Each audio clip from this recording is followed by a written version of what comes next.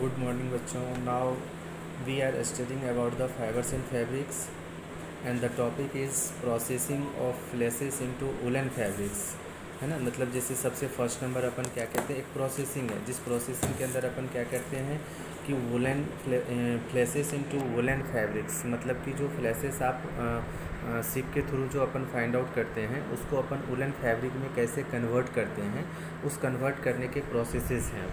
जिसमें अपन first number process ये कहते हैं कि shearing of shearing of flesh shearing of less के अंदर अपन क्या कहते हैं कि the flesh of the sheep along with the very thin layer of skin is removed from its body this process is removing fleshes from the body of sheep is called searing तो first process अपन को क्या आ गया? Shearing shearing में अपन क्या करते हैं? फिर से मैं एक बार बता देता हूँ, जिसमें अपन कहते हैं कि फ्लैसेस ऑफ़ सिप जो होते हैं along with the very thin layer जो होते हैं उसके, उसको अपन रिमूव कर देते हैं उसके बॉडी पार्ट से।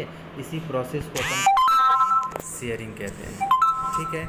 उसके बाद अपन ये जनरली जो है सोन वंस मतलब कि ये चीज़ें जो फ्लैसेस अपन करते हैं किसी वुलन सिप के थ्रू तो वो आपको जैसे ईयर के अंदर मतलब वन टाइम अपन करते हैं। मतलब साल में आप एक बार इसको मतलब रिमूव करोगे सिप के और ये ज़्यादातर अपन को अर्ली समर के समय में इसको कर लिया जाता है क्योंकि वहाँ पे क्लाइमेट जो है वो चेंज हो जाता है, ठीक है? तो इसीलिए उसको ध्यान में रखना, रखा हो जाता है, ठीक है? उसके बाद सेकंड नंबर है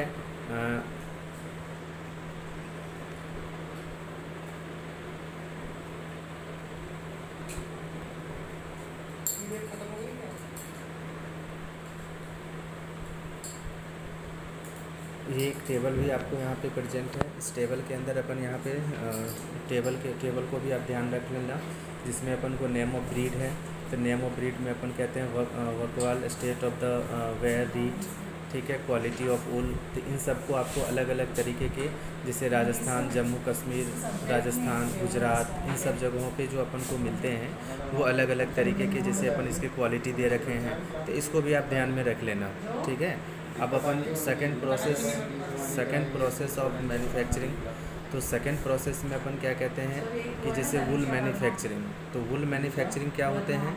तो वुल मैन्युफैक्चरिंग को अपन जनरली क्या कहते हैं कि जैसे फ़र्स्ट नंबर में देखो इसको प्रोसेस कैसे कैसे करते हैं? जैसे फ़र्स्ट नंबर प्रोसेस अपन कहते हैं कि the initial process is processing of raw wool is sorting of the woollen fibres the fleeces is pulled apart by the hand into the uh, separate piles of similar nature mainly on the basis of uh, fineness length and freedom from defects तो सबसे पहले अपन क्या करते हैं कि वुल manufacturing के लिए sorting करते हैं वुलन फाइबर्स को।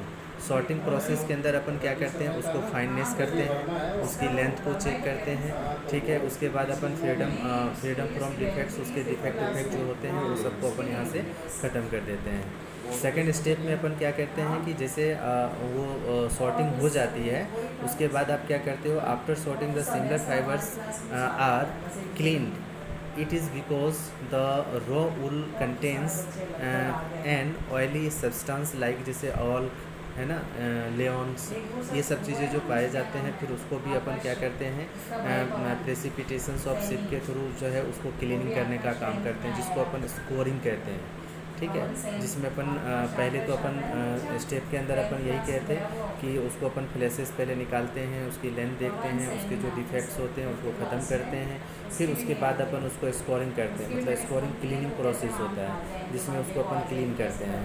ठीक है थर्ड प्रोसेस अपन कहते हैं कार्डिंग मशीन्स के थ्रू अपन उसको क्या करते हैं कि इसमें woollen fibres into straight continuous form और कॉल्ड द कार्डिंग कार्डिंग एक तरह का कार्डिंग मशीन होता है, जो अगर मान लो, जो उसके फ्लैसेस होते हैं सिप के तो वो सबके सेप जो होते हैं वो बिल्कुल मतलब कि जिग जिग टाइप के होते हैं, टेढ़े मेढ़े होते हैं तो उसको अपन एक क्रेडिंग मशीन के थ्रू पहले उसको क्रेडिंग करते हैं मतलब उसको एक बिल्कुल स्ट्रेट कंटिन्यूस फॉर्म दे देते हैं।